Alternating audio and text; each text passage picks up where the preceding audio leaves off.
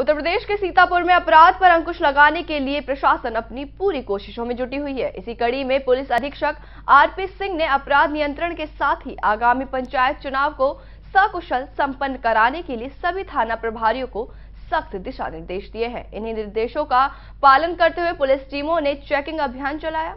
इस दौरान पुलिस ने तीन अवैध शस्त्र फैक्ट्रियों का भांडाफोड़ करते हुए तीन अभियुक्तों को गिरफ़्तार करने में सफलता हासिल की है।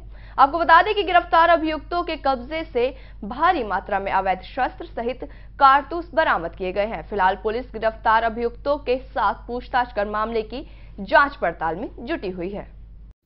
जनपद सीतापुर में पुलिस अधीक्षक महोदय द्वारा जनपदीय पुलिस को प्रभावी अपराध नियंत्रण एवं आगामी त्रिस्तरीय पंचायत चुनाव के दृष्टिगत तदनुरूप पुलिसिंग करने के लिए निर्देशित किया गया है। इस संबंध में कई कार्रवाइयाँ हाल ही में की गई हैं। उसी क्रम में तीन थानों के पुलिस द्वारा बाईस बटा तेईस में एक संवेद कार्रवाइयाँ कुछ ऐसी की गई, जिसमें तीन अवैध शस्त्र फैक्ट्रियाँ और तीन अभियुक्त पकड़े गए हैं। थाना लहरपुर, सकरन और महमूदाबाद। ये जो तीनों अवैध शस्त्र फैक्ट्रियाँ पकड़ी गई हैं संबंधित थानों द्वारा, इनके पास से कुल तेरह निर्मित अवैध शस्त्र, छह अर्धनिर्मित अवैध शस्त्र, तीन पाइप और ग्यारह कारतूस बरामद हुए हैं। तीनों अवैध शस्त्रों शस्त्र फैक्ट्रियों की बरामदगी के संबंध में संबंधित थानों में अभियोग पंजीकृत करके अभियुक्तों का चालान किया गया है।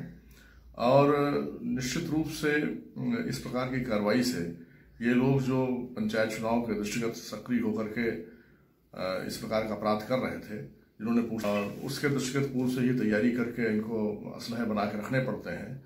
लेकिन जनपदी पुलिस की जो सूचना तंत्र है और जो उनकी सक्रियता रही, उसकी वजह से समय से ही इनको गिरफ्तारी की गई है।